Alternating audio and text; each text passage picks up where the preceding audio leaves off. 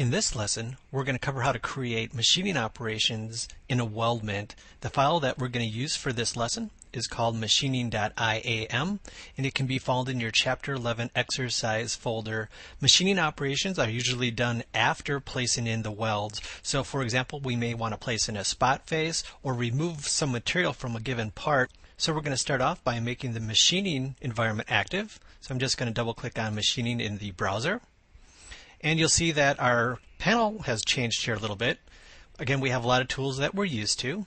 So I'm going to start off by actually making a plane the active sketch, just like you would at the part environment. But you'll notice something that's very different here. None of the parts grayed out. And the reason that that is, is that this feature is going to be at the assembly level. It will not affect the parent file itself.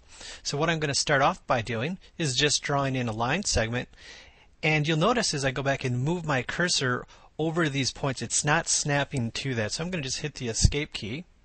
And from the panel down here, I'm going to scroll on down and we're going to go back and we're going to select on project geometry.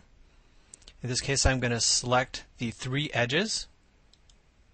And then I'm going to come back up and draw an a line segment. And we'll make it perpendicular and make sure that it's coincident to those edges. Just hit D on the keyboard and let's dimension off that line segment. We'll place it in at 12, return, and then I'm just going to do an extrusion for that top face right there.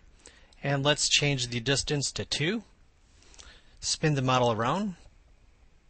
As you can see, we're going to remove 2 millimeters worth of material. Go ahead, click OK. Spin that around. And let's place in one more.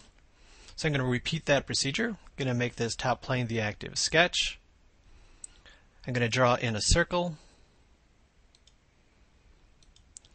And let's switch our view. So we're going to look at it from the plan view. So again, I'm going to go back and I'm going to use the project geometry tool. I'm going to project that top edge. And then let's go back and place in a couple of constraints. So I'll apply a vertical constraint to the center of the circle, to the midpoint of that line.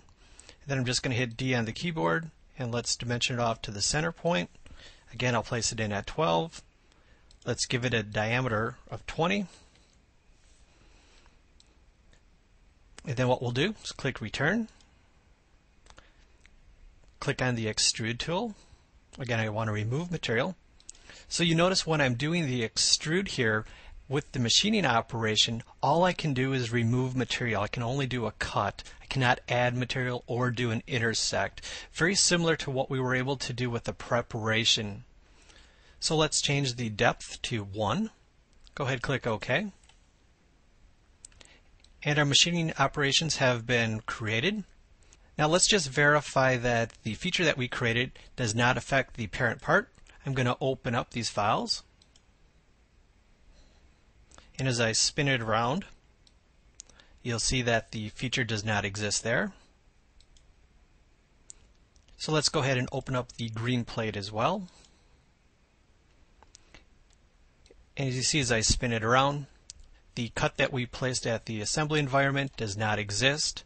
And the reason it doesn't exist at the part level, it only exists here at this specific assembly. So any other assembly that this file would be used, these machining operations will not exist. Just going to click return, get out of the machining environment.